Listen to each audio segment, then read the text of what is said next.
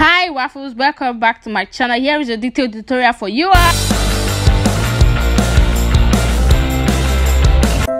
by the title of this video you all know that i'm teaching how to make an ombre cake. Please pardon my refrigerated not so smooth cake but we are going to do this in three different colors. So you can do this for as much color as you want. I just wanted to just come up in three different colors. So what i did while mixing my buttercream i forgot to show you guys was just mix a lighter shade of of the green removed some add added more color remove some keep adding more color so when you get like you know different shades of that color that you want to use. It can work for different it can work for different color too. So that's exactly what we're doing here. So just go ahead pipe put in our piping bag and just roll it like this.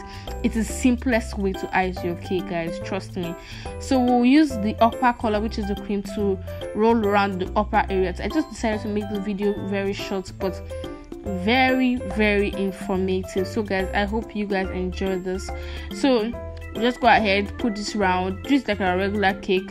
Then we grab our smoother and smoothen our cake. Now this is just like your regular buttercream if you find any holes just go ahead and use the color of that hole and add more buttercream to it. That's basically what i'm going to do. So we'll just go add more buttercream on the cream side. If it's the cream side if it's the lemon side go ahead and the deep green. Just add more then go ahead and smoothen all over again. I wanted to use this particular um pattern comb on it but i just changed my mind. I don't know why.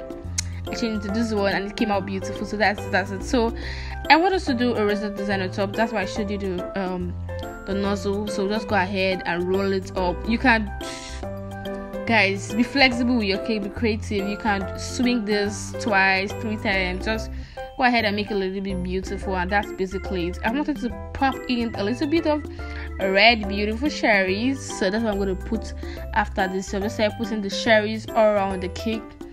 Like that this is a very simple birthday cake you can, it can work for anybody. So I decided to bring it to my channel because most of you want some really beautiful techniques and design, but you don't know how to do it. So go ahead and check my Instagram handles, and you see some of my cakes. You can tell me to show you. I'll be, I'll be sure to show you all.